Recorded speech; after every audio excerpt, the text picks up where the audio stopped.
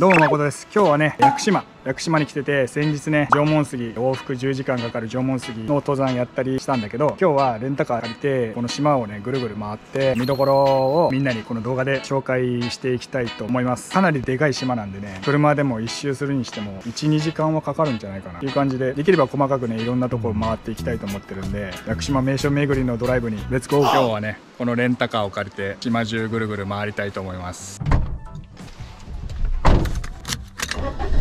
今屋久島で泊まっているゲストハウスに過去に旅に来て屋久島をめちゃめちゃ気に入ってプチ移住みたいな感じでした子がいたらしくてなんかその子がこの屋久島の見どころをオリジナルでノートにまとめてガイドブックみたいな作っててその宿に置いてあってでそれ結構ね普通にネットで調べても出てこないような場所とか載ってたんでそれいっぱいあのスマホで写真撮ってそれ参考にしてちょっと今日は回っていこうかなと思ってるんでガイドブックとかネットとかに載ってないようなところも今回は紹介できると思うんで旅のプランの参考にしてもらえたらと思います。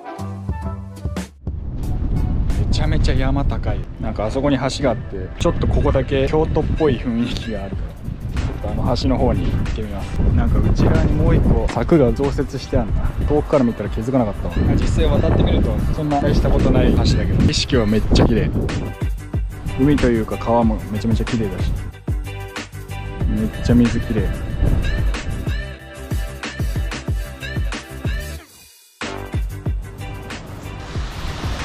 おーすげえ。砂浜も何箇所かあるんだね。なんかあそこに洞窟があって鳥居があるな。これなんか西郷さんの場所らしいけど歴史とか全然詳しくないからあんまりよくわかんないんだけどそういう場所らしいですはい。東シナ海展望所ってとこに来ました。もうすでに山がやばいんだよ。うーわやば。屋久島めちゃめちゃでけえんだな。ほんとびっくりするわ。レンタカーないと厳しいね。この島なんだろう。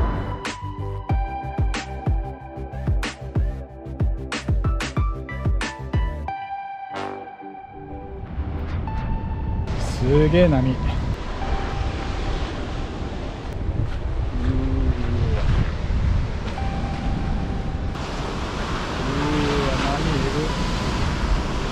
こんな波の中砂浜に来てウミガメは産卵するのかな？やばカリフォルニアまで行くのかよ。波高え。狭やば。すごいな。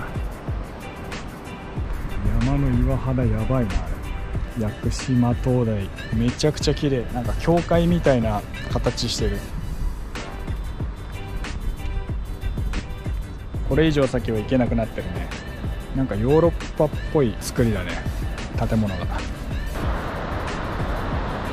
めちゃめちゃえぐいよ。こんな細い道を車で通ってきた。ここ猫めっちゃいるな。猫の匂いがめっちゃする。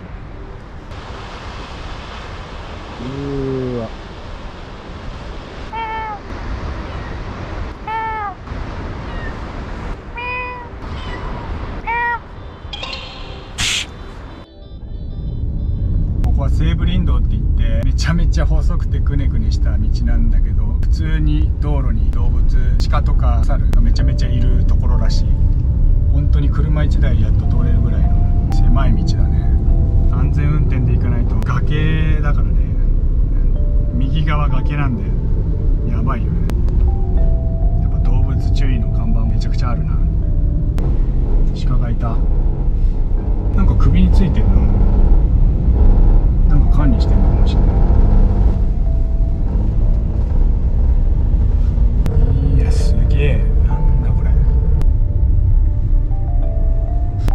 ち側崖なんだけど向こうが海になってるんだけどめちゃくちゃ高いところにいる。おお怖え石踏んでちょっと横にグラッとずれたからマジ焦る。お鹿だ。この辺の鹿はやっぱ警戒心強い。縄文杉行くまでのところのエリアの鹿はすごい人間に慣れてて鉢合わせても全然逃げなかったけどこっちの鹿はちょっと車の音がするだけで逃げ3 4 0分かけてやっと西武林道を抜けました。もうひたすら狭くてくねくねした道を3 4 0分運転してた。らさすがになんか飽きてすげえ眠くなってきちゃった。いやでも猿いなかったな。あ1匹いたか。なんか本当だったら道路で道塞ぐぐらいめちゃめちゃ出てくる時もあるみたいなんだけど全然遭遇しなかったか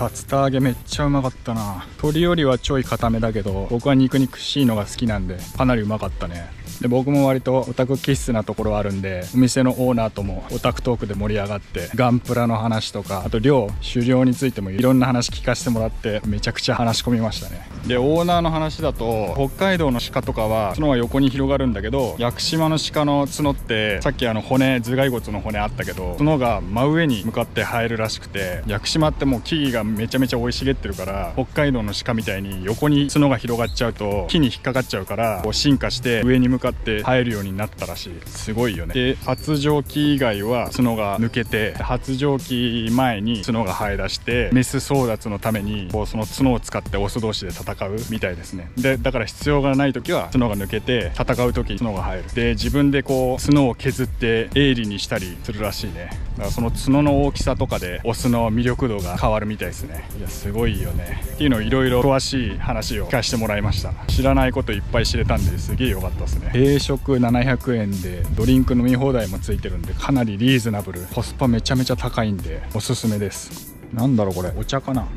お茶っ葉？めちゃめちゃ綺麗な緑だ。さっきのレストランのオーナーがこっちに行くと橋があるっていう教えてくれたんでそこに向かってみようと思います。こんな道を。すげえ。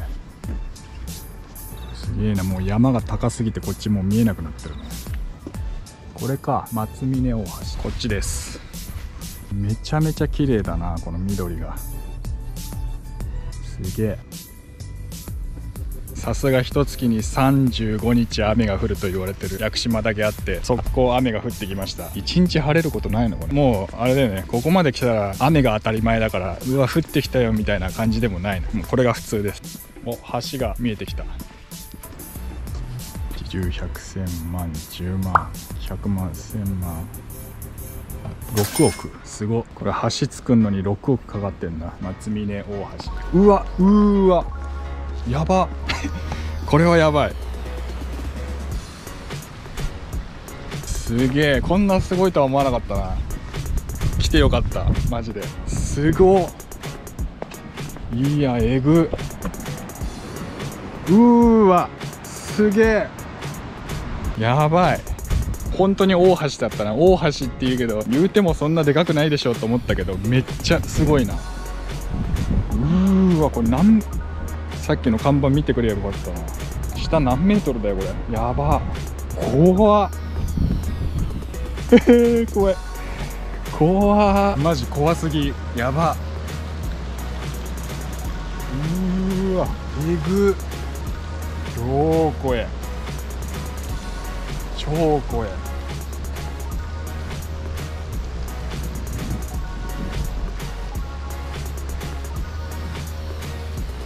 すごっ。やこれ景色やばいよこれ。反対側。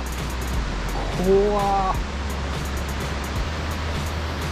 すげえ。山の緑めちゃめちゃ綺麗なんだけど普通に。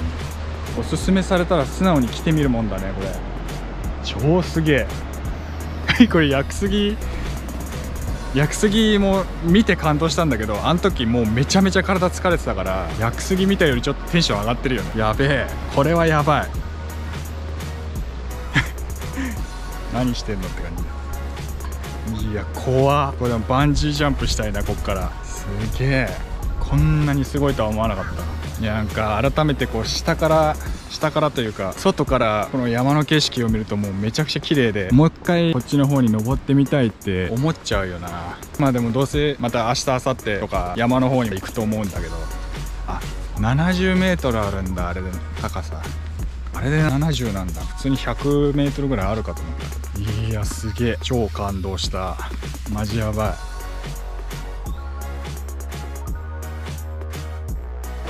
え罠あるよ。さっきのレストランのオーナーも言ってたんだけど何気なく茂みの中に入っちゃうと鹿用とかの罠に引っかかることがあるから気をつけろって言ってたんであんまりこういうこっちの方とかはうかつには入れない。スマホの電波もそんなないんでもし罠にかかったら助け呼ぶにも呼べないから超危険な状態になるよね。すげえなんだこれ。やっぱすごいなんかこういう植物とかもうなかなかないよね。やっぱ雨多いからすごい常に下がヌルヌルしてて普通の道歩くにもトレッキングシューズ必要だなこれ。結構滑るから。普通に街中ブラブラしてるだけなんだけどね。こんな道そうそうないよ。いやすげえ。ううう。びっくりした。さっき普通に住宅街歩いてても猿がいたからね。ガサガサガサっつってなんだと思った？ら猿がいたから。マジ焦った。うすげえ。うーわ。ちょっとマイナーな道入っただけでこんな景色が広がるなんて。すげえな。半端ない。うわ滑る。うわ。うわすげえ。なにこれ。歩いてるだけでもうひたすら感動なんだけどすごいなほんとこの島。昨日ね縄文杉見に往復10時間トレッキングしたんだけどその割には今日そんなに筋肉痛じゃないんだけどまあ明日ねめちゃめちゃ痛くなるかもしれないけどでもちょっとこの下り坂はきついね足が。お川が見えてきた。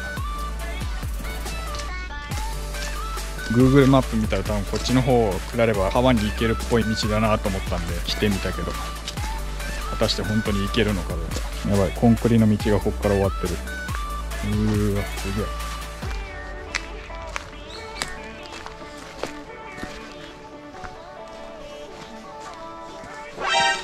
あれ？いけないのかな？あーえー、微妙。こっちかな。とりあえずこっち行ってみよう。いや怖え怖え怖え。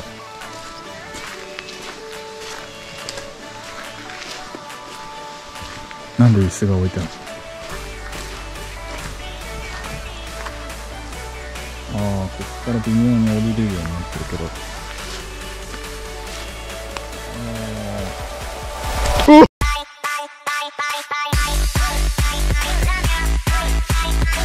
然やばねえよ。この後待ち合わせなのに。入り怖っ。これ半端ないよ。そこ行くんかい。すげえな。やばいね。絶対寒いから。小学生ぶりに川で遊んだわ。めっちゃ楽しいんだけど。最高じゃん、うん、最高